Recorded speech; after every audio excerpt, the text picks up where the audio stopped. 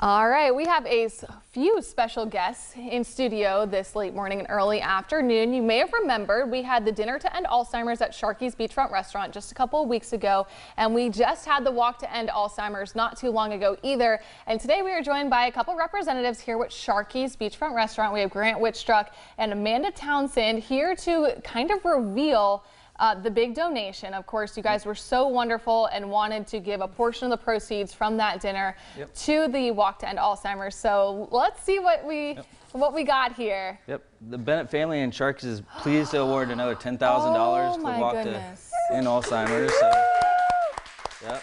Thank you so so much. That is incredible. And I, there was 10,000 last year, so it's just amazing. It was a great turnout. We are so happy uh, to have you guys help us out with this, yep. and we really appreciate it. Yep, yep. And the Bennett family and Sharky is, uh, is thrilled to be able to work with you guys and help such a needy cause. So. Yes, and Tina, she's here. Tina Henson with the Alzheimer's Association, a our local chapter, of course, in in a lot of need of this. Where is the money going to go, and how's it going to help out?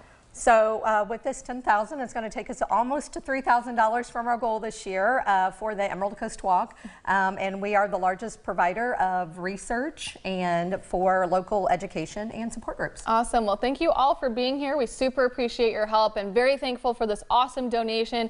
Look forward to an, a bigger event next year, even uh, more money raised all across the panhandle. Of course, we are hoping to find a cure to end Alzheimer's and fighting to end Alzheimer's here with News 13 as well. We'll be right back after the break.